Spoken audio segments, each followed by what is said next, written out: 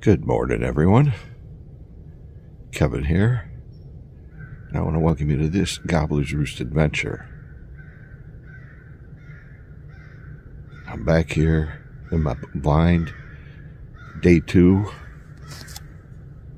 of my Stone Point deer hunt. Yesterday I saw four deer. One of them was a small buck. Um, didn't get a chance. One of one of the does was coming in, but the wind shifted and she caught my scent. So we're back here for day two, and we'll see how it goes.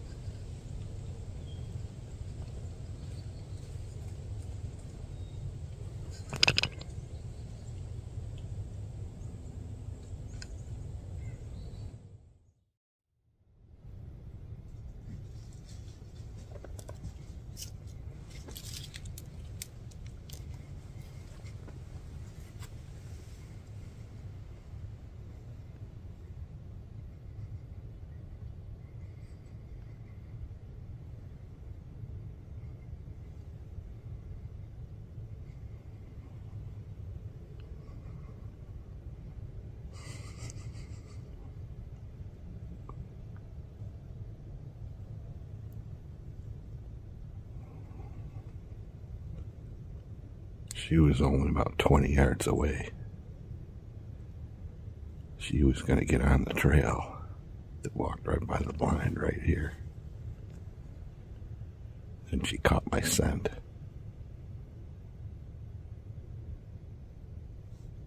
Well, almost had a shot. She was coming.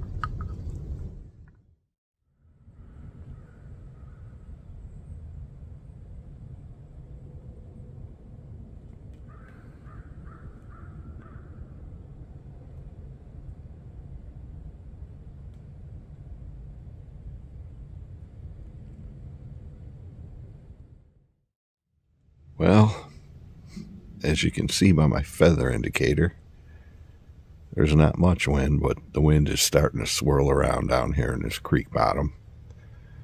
So it's probably time to call it quits for the morning. And hopefully, if conditions are right, I'll get back to hunting in the evening. Only saw one deer this morning. It was a doe but she was on the trail coming into me, and she caught whiff of me just by the slightest little breeze. Oh well, that's the game I'm playing. Thanks for coming along. We'll see what happens next time. Uh, hello, everyone. Um, in the previous Stone Point deer hunt video, uh, Bill Ward asked me to explain a little bit about my bow. Uh, it's really awesome bow. I love it. It's a hop hornbeam bow. Um, I did not make this bow. Uh, normally I hunt with bows that I make, uh, but this bow was a gift. Um, for quite a few years, I would get involved in the the primitive archer uh, online Christmas trade on their website. Uh, the users would get together and we'd have a Christmas trade and I'd make a gift for someone and someone would make a gift for me. And this bow was a gift for me from Hunter Bob, uh, from Ohio. Um, it's really awesome bow. He mixed his own finish and put, uh, nice leather, dyed leather wrap on it. Um, I received this bow and I was like, oh wow, this is an awesome bow. And I get it and I strung it up and I, I couldn't pull it back. And I'm thinking, wow, this guy Hunter Bob must be a really, really big, beefy guy.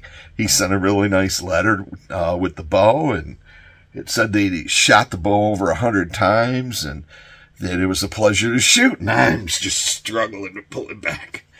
Well, his letter also, he must have realized, um, that he's a bit bigger guy than most other guys because his letter also said that if I needed to, I could tiller the bow down. Um, so it's exactly what I did. You can see on the back, I, I just put a sealant on there. I didn't put a finish. Um,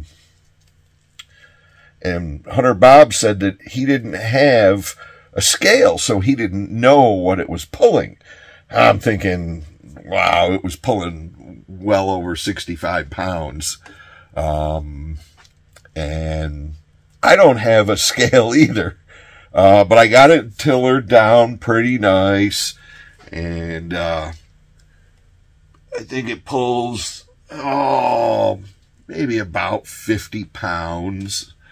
Um, I don't know the nock to nock length. I never measured it. Um, he put some pretty nice inlays on the tips. The tips are really nice. Um, and as I said, I don't know the poundage, but I believe it's about 50 pounds. It's hop hornbeam pulls back really nice. And what I'm shooting, pull this out of here. What I'm shooting is, well, I've been referring to it as river cane. It's Tonkin cane. Um, but I'm shooting obsidian points. And these points also, I'm not a flint knapper. um, I think it's really cool. I'd love to learn, but uh, it certainly is an art. But these points I received also in a Christmas trade one year from uh, Bubby from uh, California. And he sent me oh, six really nice uh, obsidian points along with an obsidian knife. And so I, I thought I'm going to try and kill a deer with these. Um, it's pretty difficult uh, goal, but, and I've spent a couple of years doing it. I've come close in the past years. Um, but we'll see what happens. I'm still hunting as it is right now.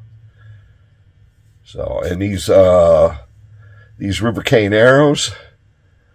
Uh, as you can see, it's self-dock, backed with deer sinew from uh, a deer I took, and fletched with turkey feathers from a turkey that I got a few years back.